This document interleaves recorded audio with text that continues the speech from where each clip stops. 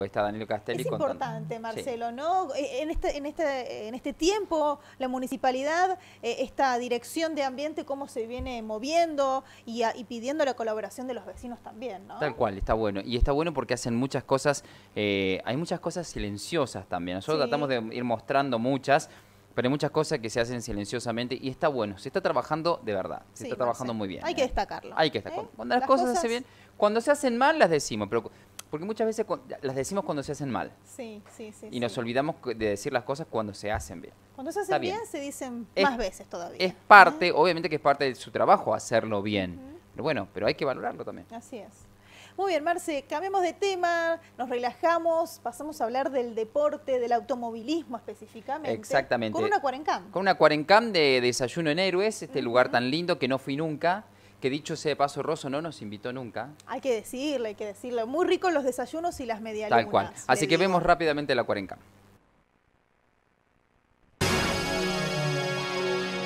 ¿Los Paz desde cuándo? Vecino desde cuándo. En el año 58, cuando tenía cuatro años, vine por primera vez y nos radicamos definitivamente la familia Cristi, o sea que era mi padre, mi madre y yo, en el año 68. Eh, ahí sí ya nos venimos a ver definitivamente. O sea que vos sos materia, aparte por tu carrera deportiva, sos una persona que nos puede contar, nos puede contar la importancia que tiene el automovilismo deportivo, ya sea como generadora de trabajo, como generadora de turismo también. Así que te escucho. Bueno, a ver, Luis, yo te voy a decir algo. Eh, para mí, digamos, Carlos Paz, o sea, todo esto nace en la década del 60, cuando Cosquín empieza con el Festival de Cosquín, el de folclore, la falda con el tango. Alcides Reyes tiene la la genialidad de crear la Semana de Velocidad. La Semana de Velocidad eh, era mejor que cualquier otro de los festivales que había en, la zona de Punilla, o sea, por la cantidad de gente que convocaba. O sea, digamos, Alcides había logrado traer todas las categorías que corrían en el país, más lanchas, hacía también carreras de lancha, y con eso, con generar la Semana Velocidad, generó un movimiento turístico en Carlos Paz que fue increíble.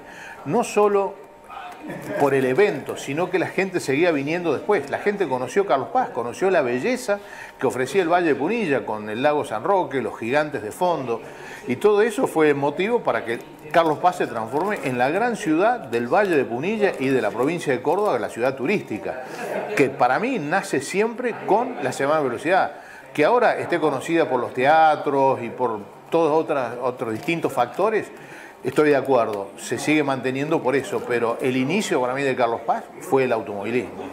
Y vos que has andado viajando por el mundo, eh, ¿eso se nota? O sea, ¿te relaciona Carlos Paz con la fecha de rally, por ejemplo? Totalmente, totalmente. Yo digo Carlos Paz, eh, en cualquier, he tenido la suerte, por mi actividad obviamente, de dar la vuelta al mundo, y siempre que eh, yo cito o nombro Carlos Paz, es el sinónimo del rally de Argentina. O sea, muy pocos recuerdan que el Rally de Argentina se corrió una vez en Bariloche y dos veces en Tucumán. Eh, realmente Carlos Paz es, es el rally de Argentina, es Carlos Paz. Las sierras de Córdoba son Carlos Paz. Eh, los tramos emblemáticos de nuestra carrera son tan emblemáticos, el Cóndor Copina tan importante como el Rujimaki o el Onimpoye en Finlandia. Entonces, eh, eso queda, eso va a quedar de por vida, eso no se puede cambiar más. Eh, son cosas que quedan y quedan ya nominadas de esa forma. Y felizmente, bueno, son para nosotros, para Córdoba, para Carlos Paz, todos nosotros somos los que sufrutamos de esas cosas que generó el automovilismo. Realmente el automovilismo, eh, independiente de que lo que puede llegar a generar en un fin de semana o en 15 días, como es el rally, o 10 días que es el rally, eh, también genera la promoción indirecta del lugar donde se está compitiendo se compitió, se corrió por primera vez en Estonia ahora por el Campeonato del Mundo y bueno, todo el mundo nos enteramos, lo que nos gusta el rally, de cómo era Estonia, cómo son los caminos de Estonia. Eh, los de Córdoba ya lo sabemos porque venimos del año 84. Entonces, eh, para mí es el automovilismo, sobre todo el rally, la pista es mucho más cerrada, en un circuito que tiene 5, 7, 10, 20 curvas, no sale de ahí la imagen. Pero el rally, con todas las nuevas modalidades que hay para filmar, con drones, eh, transmisión en directo, realmente se puede mostrar un país o una región de un país de la mejor forma. Y todo eso soy convencido que se repercute en la parte turística si bien no tenemos, bueno, tenemos una pista más o menos cerca como es en Cabalén, pero paradójicamente tenemos muchos talleres instalados acá, bueno, todas las cosas tienen una razón de ser. O sea, digamos, la Semana de Velocidad fue una genialidad de Alcides Reyes.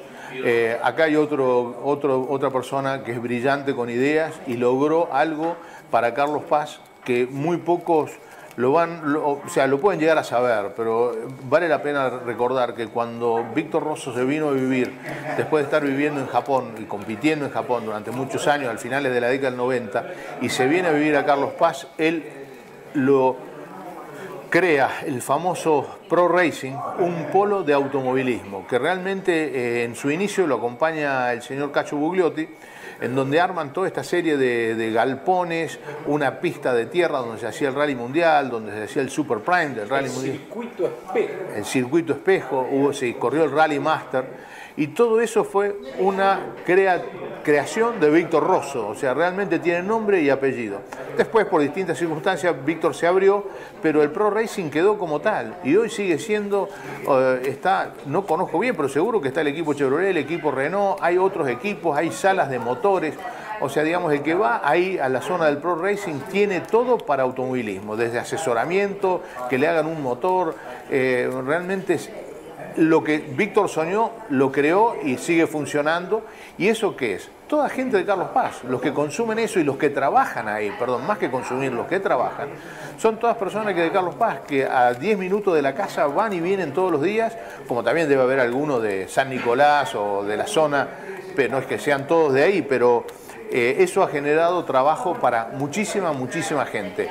E indirectamente en la zona industrial de Carlos Paz, hay muchos torneros, pequeños talleres, pequeñas empresitas que hacen desde pastillas de frenos, embriagues, mucha cosa chica que la gente no sabe, que terciarizan los grandes equipos a, talleres chicos, a, pequeñas pymes. Y estas pymes también viven gracias al automovilismo. O sea, el automovilismo es muy amplio. El auto, un auto de carrera lleva muchísimas partes. Alguien tiene que hacer esas partes especiales y no siempre las hace una sola persona. O sea, eso se va diversificando en distintos talleres. Y bueno, yo creo que Carlos Paz también es, es beneficiado en ese aspecto, digamos, en un porcentaje por tanto automovilismo a la vuelta. Bueno, como mensaje final a Carlos Pacenses nuevos que tengan uno, dos, cinco, diez años de radicados que por ahí se molestan por algún ruido molesto, por alguna carrera, ¿qué le dirías? No, Luis, eh, yo hoy yo voy a contar una sola cosa, Luis. Eh, el señor eh, Tenti, que era el dueño de Escape Spori, Tenti me contaba, me contó un día de que en vísperas del rally de Argentina, él ponía no menos de 30, 40 caños de escape libres y la gente le dejaba el caño de escape con el silenciador ahí. Y él le decía, si no vienen la semana siguiente a, cambiarlo, a llevárselo, se los tiro.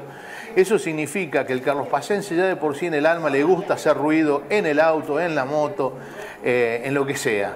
Eh, yo creo que el espíritu del automovilismo flota en Carlos Paz y si cuando escuchen algún ruido, a mí ya no me molestan los ruidos, los disfruto.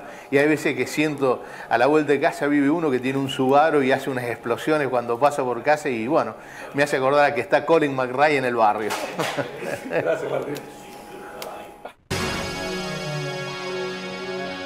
Ahí está bueno. A mí tampoco me molesta ese ruido. ¿eh? Bueno, le voy a mandar le voy a mandar a mi vecino del frente que está todo el día haciendo ruido con, con un auto y moto. ruido de autos profesionales. Con autos y motos ese ruido todo el día. Se los voy a mandar,